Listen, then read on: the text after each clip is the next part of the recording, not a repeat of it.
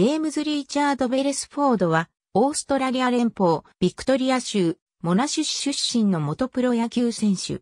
宇藤左だ。2005年に16歳で、ミネソタツインズと契約を結んだ。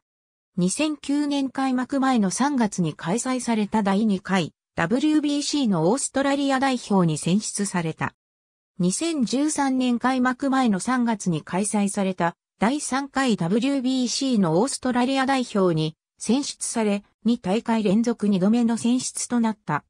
2015年11月6日に FA となったが、12月8日にツインズとマイナー契約を結んだ。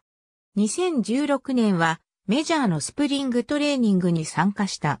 開幕前の1月28日に第4回 WBC 予選のオーストラリア代表に選出された。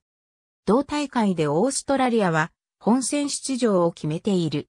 シーズンでは9月6日にメジャー契約を結んでアクティブロースター入りし、10日のクリーブランドインディアンス戦でメジャーデビュー。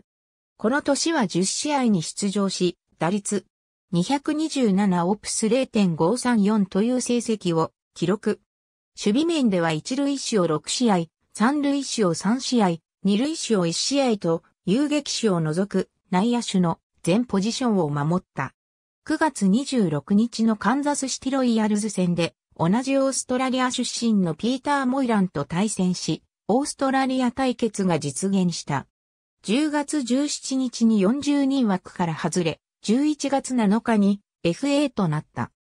2017年2月9日に第4回 WBC 本戦のオーストラリア代表に選出され、3大会連続3度目の選出を果たした。